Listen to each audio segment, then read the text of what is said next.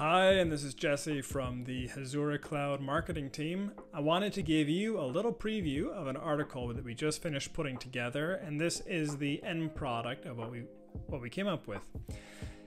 The project itself is concerning content enhancement, where you have some type of short lived process, uploading data, uploading an image, uploading a video, and then a long running process that happens in the background, transcoding that video into a stream format uh, in the case of our project here, it is object recognition on the image.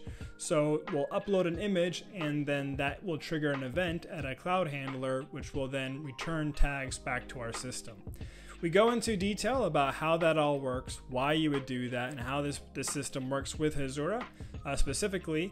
Uh, but this is the end product that I wanted to give you a little sneak peek of. What we have running here is in the background, I have a subscription in the Hasura console that is currently running on and it's looking for all the uploads that are scoped down to user number seven.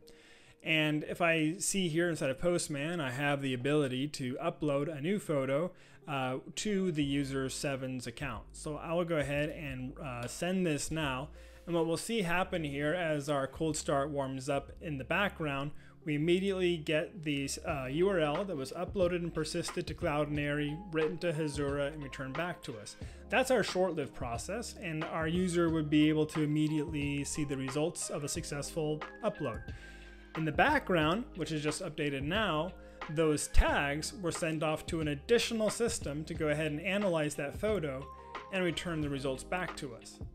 That's an incredibly powerful paradigm uh, that's often referred to as functional reactive programming, where you're able to have different data flows, short-lived processes, long-lived processes, and be able to subscribe to those results that do not require any additional details or even keeping the application active by the user.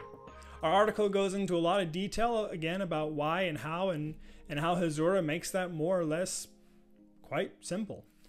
We hope you enjoyed the article. We hope you enjoyed this little video. If you want to see some more video walkthrough of how we actually built this for the visual learners out there, do let us know and that could be something you might see coming soon. Have a nice day. Bye.